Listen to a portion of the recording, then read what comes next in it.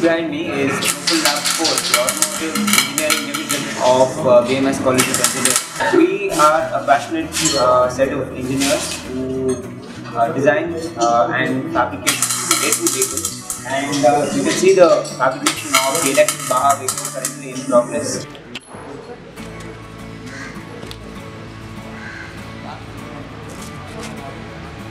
For the past 30 or so years, uh, student design competitions have been held all over the world. As one of the top 10 teams all over India from over a pool of 337 teams, we have been given the opportunity to fabricate an electric off-road vehicle with the support of Mahindra Reva.